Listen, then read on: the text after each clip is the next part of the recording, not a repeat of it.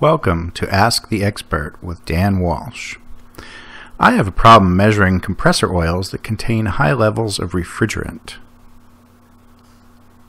Often I need to let the sample degas for up to a day before I can get an accurate viscosity reading. Refrigerant gas bubbles out of the oil as I try to measure it. Is there an easier way to get accurate readings? Compressor oil analysis is required by most manufacturers. However, sampling compressor oil can oftentimes be a challenge, particularly for when measuring kinematic viscosity, which is required by most manufacturers.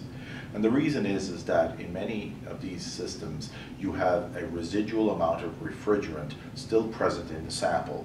This can often be observed by looking at a series of bubbles that don't actually degas out of the system when you first receive the sample in the lab or if you get it from the factory. Currently, the only way for you to get a proper viscosity result is to prepare the sample um, uh, using a degassing, leaving it out for several hours or days, or by actually putting it into a, decanting it into a petri dish and boiling it off using a hot plate.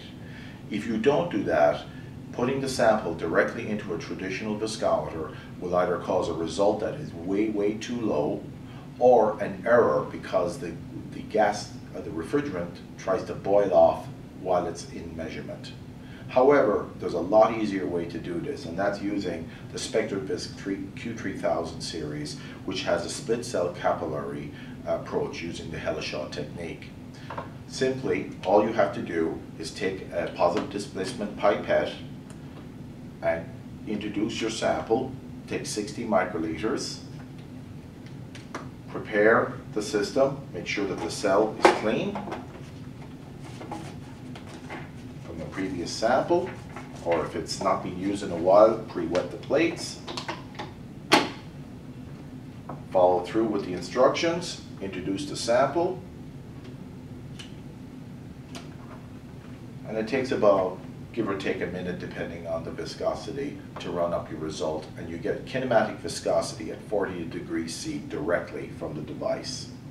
Q3000 operation. Oil flows down the split cell due to the force of gravity. LEDs measure how fast the oil moves through the cell.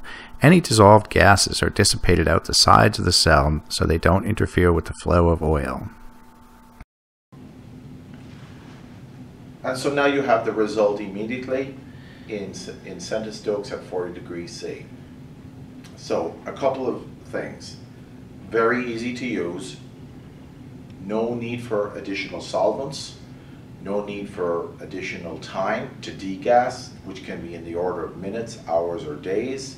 You get an immediate result, accurate to the degassed uh, result from a viscometer, saves you a lot of time in the lab or with uh, the customer directly and can be used in a field or lab environment. Q3000 key takeaways. No degassing required, results in minutes, no solvents, easy to use. The results match those obtained if the sample is degassed, and the instrument is suitable for field or laboratory use.